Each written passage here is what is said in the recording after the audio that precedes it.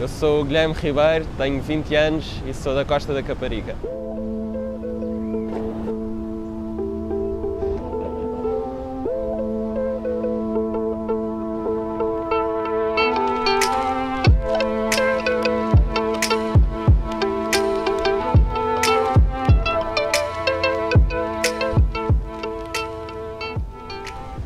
Uh, caracteriza o Mar da Costa como um mar uh, perfeito para, para todo o tipo de surfista, eu acho.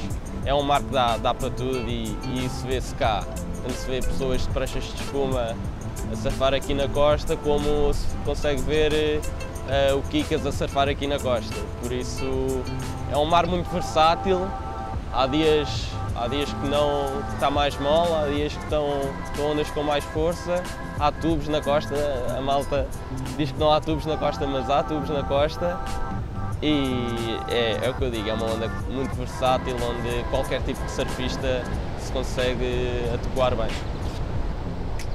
Representar a costa é quase como quando vou representar Portugal. Eu sinto que quando vou, vou lá fora uh, pelo meu país também vou pela costa.